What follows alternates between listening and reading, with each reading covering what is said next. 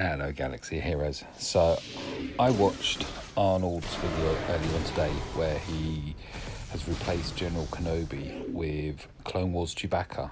Um, loving the idea of that because that obviously would free up General Kenobi so you could put him maybe on your gen your JKR squad, make them a bit more resilient, um, use them elsewhere possibly even make up a second Galactic Republic squad. Who knows?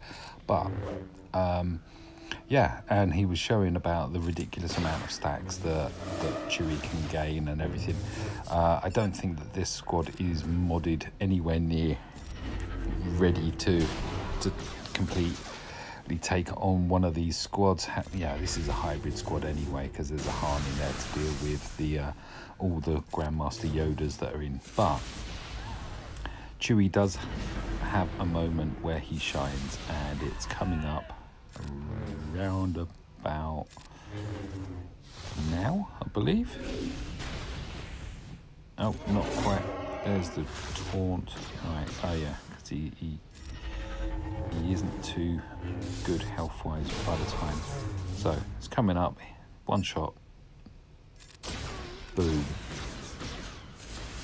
Boom. Would be interesting to try it out against the full um, Sith Empire squad, but unfortunately there aren't many on my shard. Not many at all. Um, so this is a dual vid because after that I just had to mic smash and so uh, I popped in my Sith Empire squad. As you can see, I'm running Marauder in place of HK, and I think, I mean, if you go first, I mean, all right, taking out the Han thing there. If you go first, uh, oh my. So my six star Malak against his seven star Malak hybrid. But look at that. She's gone. Revan's death marked. Han's in the yellow. Um, Malak is dipping in and out of green to yellow. Boom, 76k. He ain't getting up from that. And there you have it. Mike's Revenge.